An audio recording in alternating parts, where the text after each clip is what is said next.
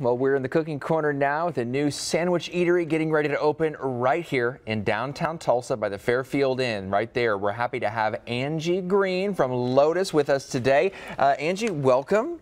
Thank welcome you. to downtown as a new restaurant here. And so you guys are open now, but your grand opening is Friday. Right, we're in a soft open phase right now, and we're open until 11 o'clock tonight.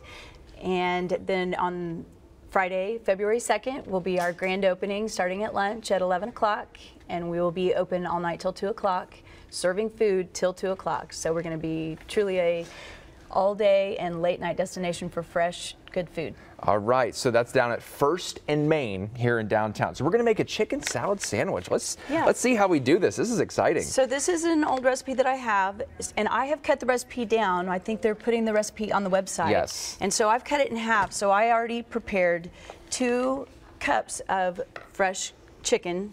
And then this is a really simple recipe. It's just using basic ingredients, but it's a recipe I've had for a long time.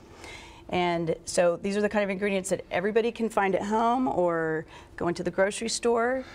And so it's super easy. And also uh, with my recipe, and I will occasionally be changing this up at the restaurant as well, is um, is that you don't have to put all the ingredients. If you don't like nuts, don't put nuts. If you don't like grapes, don't put grapes. If you don't like onions, you Yeah. get my point, Sure, right? sure. So you can do whatever you want. That was a half cup of mayo. So that, so I put a half cup of mayo, and this is actually that's a half.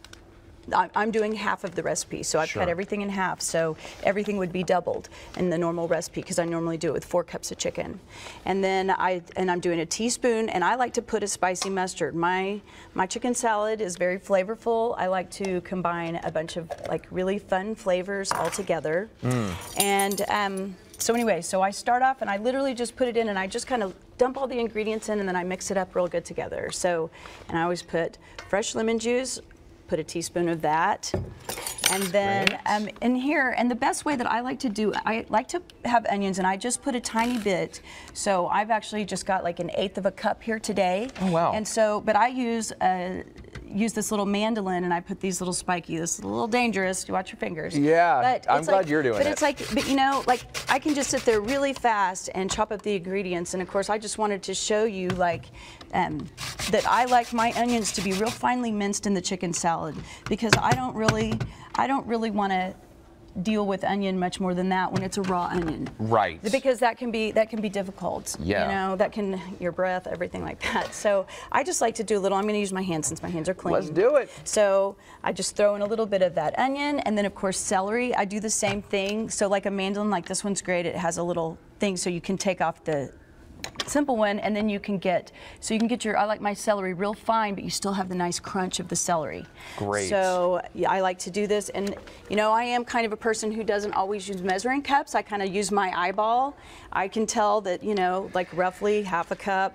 mm, that's good. Yeah, Because it doesn't have to looks be perfect. That's the thing about at home, you know, is like it doesn't have to be perfect. Another thing I like to do is grapes, and I'll show you my hack. Okay. So I normally use uh, I normally use like uh, lids, like cottage cheese lids, butter lids. I put all my grapes together. Take my knife. Okay. That's awesome. Well, Angie, we are actually out, Oh, of, time, out of but that is great. I Right, love this. So this will turn into chicken salad. Yeah. We, again, we had the recipe on newson6.com slash recipes. We just ran out of time here today, but Angie, thank you so much and best of luck to you. Thank you. I appreciate it so much.